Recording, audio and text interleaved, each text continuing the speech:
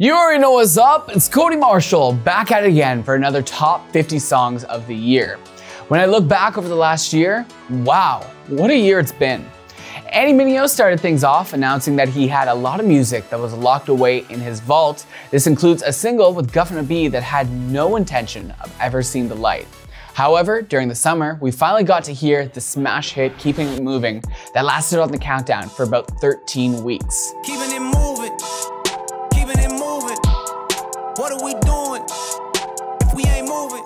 Rapture Ruckus announced that they're calling it quits in 2020, but before we say goodbye to them forever, we got two tracks throughout the year. Tell me there's a method to the madness. Method Madness was a fan favorite, and I can expect to see that high up on the charts.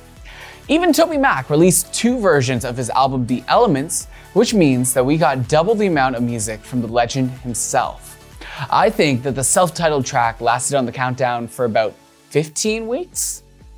Coming up on the show, we will hear from Skillet and how they recorded Jen Ledger's vocals from Legendary on their album Victorious in a very unconventional way. And we'll take a look at 1K Phew and the exact moment that he decided to turn his life over to the Lord. Tune in as we close off 2019 and even finish up the decade and move into 2020.